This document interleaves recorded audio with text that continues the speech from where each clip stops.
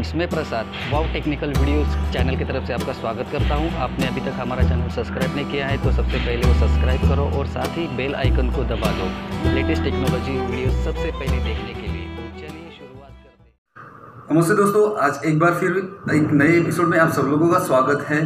Pan card में नाम हो गया है गलत तो घर बैठे कैसे करें उसमें सुधार।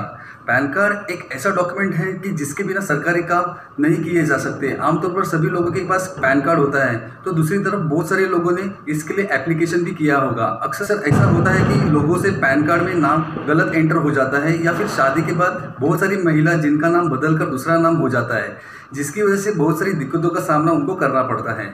लेकिन अब परेशान होने की ज़रा भी ज़रूरत नहीं है, क्योंकि हम आपको पैन कार्ड में गलत नाम को सही करने का तरीका बताने जा रहे हैं। आप इस प्रोसेस को घर बैठे ही पैन कार्ड के नाम को सुधार सकेंगे। इसके अलावा डेट ऑफ़ बर्थ और एड्रेस को भी आप क्लिक कर पाएँगे। तो चलिए जानते हैं कि कैसे करें पैन कार्ड में गलत नाम का बदलाव। सबसे पहले आपको बता दें कि आप जो नाम चेंज करना चाहते हैं, असली नाम वाले डॉक्यूमेंट की फोटोकॉपी आपके पास पहले से ही रखनी होगी, जिसमें पासपोर्ट से लेकर जन्म प्रमाण तक कागज़ शामिल हो सकते हैं।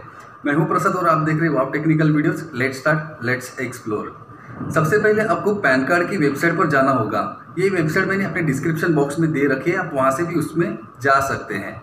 तो तो चलिए सबसे पहले अपने कंप्यूटर या मोबाइल में पैन कार्ड की वेबसाइट को ओपन करते हैं। अब आपके सामने एक पेज खुलेगा।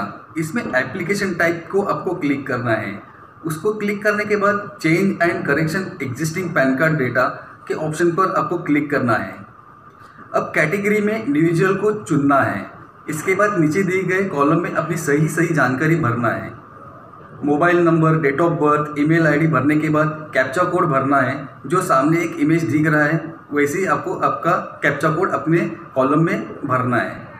इसके बाद सबमिट बटन पर आपको क्लिक करना है। अब आप एक नए पेज पर पहुँच जाएँगे। आपको चार ऑप्शन दिखाई देंगे।